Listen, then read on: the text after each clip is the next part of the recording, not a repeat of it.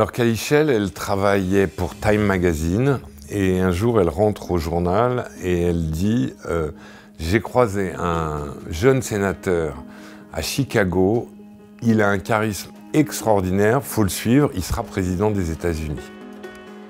Tout le monde se moque un peu de ce qu'elle dit, sauf que le jeune sénateur il s'appelle Barack Obama et donc Kali est une des premières à le suivre.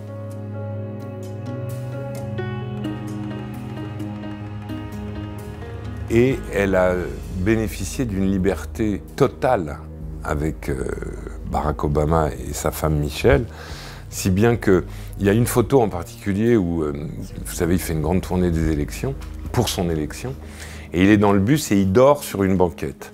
Et son service communication dit à Kali Ah, mais non, mais on ne peut pas montrer. Euh, Monsieur Obama comme ça. Il dort, il a l'air fatigué, etc. Donc Kali va voir Barack et lui dit Si moi je ne peux pas montrer cette photo, j'arrête. Et Obama lui dit, mais pourquoi ils t'interdisent de me montrer cette photo?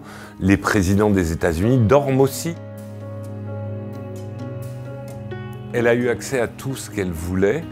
Elle me raconte toujours qu'il y a une seule chose qu'elle n'a jamais réussi à montrer, c'est que à l'époque il fumait au corps et elle n'a jamais réussi à l'avoir avec une cigarette aux lèvres. Ça, il refusait systématiquement. Et là, cette photo, moi, je l'aime beaucoup parce que c'est avant un meeting. Donc, il est assis dans cet escalier. On voit la foule qui l'attend derrière. Et euh, lui, il est complètement détendu.